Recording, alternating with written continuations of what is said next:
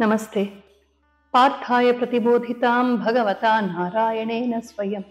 व्यासेन ग्रथितां पुराणमुनिना मध्ये महाभारतम्। अद्वैतामृतवर्षिणीं भगवतीमष्टादशाध्यायिनीम् अम्ब त्वामनुसन्दधामि भगवद्गीते भवद्वेषे।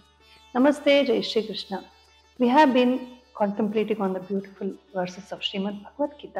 We have now reached the 17th chapter and we saw how Shri Krishna Paramatma began to tell us about the three types of Shraddhas, the Satviki, Rajasi, Tamasi Shraddhas, which dictate our every priority, taste, our lifestyle, our yajna, dana, tapas, everything.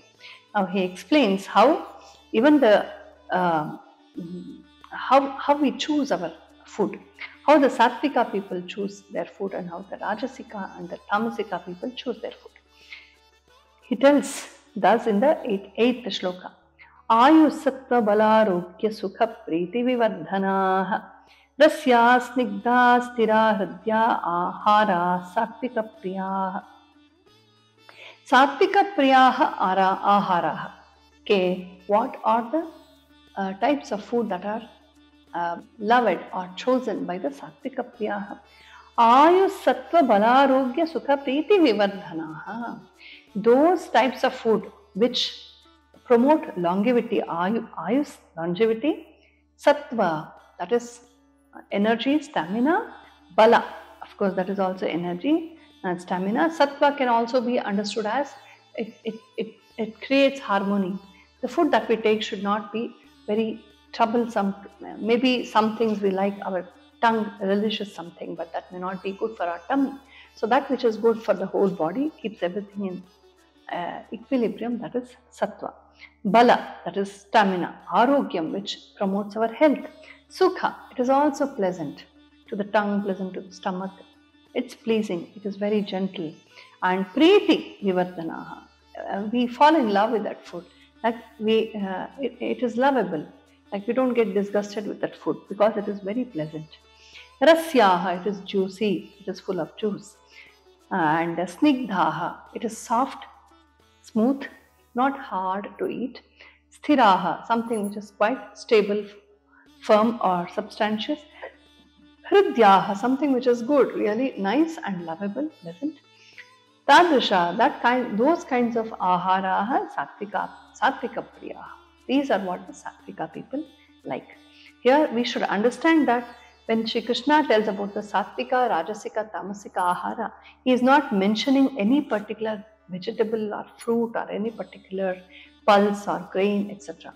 He is giving a very generic description because Krishna is a Jagat Guru. If somebody is not a Jagat Guru but confined to one's mata or mata or panta, who has this very narrow understanding, they will start mentioning a vegetable or a grain and say only this is sattvika and this is tamasika and hurl uh, abuses other, other, at other people who use another kind of, kind of grain or vegetable and they appease their ego. But Krishna is not like that. He's a very mature guru. He knows that in different parts of the world, different types of grains are available, different types of vegetables are available.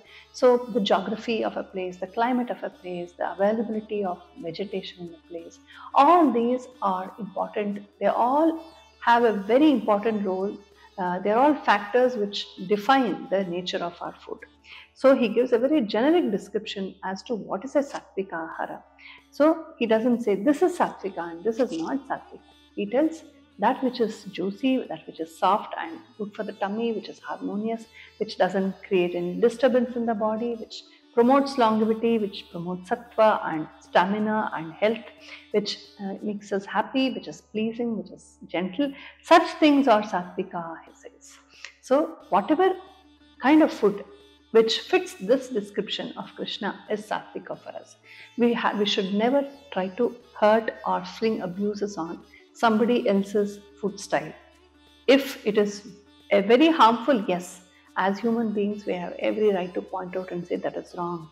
With due respect, we can tell them this is wrong, this is not good for your health. I think you should stop and change your way. But to um, to just appease our ego, saying I eat only sattvic food and you eat all tamasic food is wrong. So whatever is the availability in particular places and uh, whatever is truly good for them in those particular regions is fine for them. But Krishna gives a very generic description where anybody in any part of the world can design their um, ahara krama, their food uh, patterns according to the dictates of Sri Krishna. So this is the mark of a Jagat Guru who can who keeps everybody in mind. He has loga Karunya, he has everybody on the mind and not just one cult or one uh, particular um, school of thought in mind, but he tells this for the good of the whole world. What Krishna says next as the uh, Rajasa taste of food, Rajasa style of food in the next shloka we'll see in the next episode. Namaste, Jai Shri Krishna.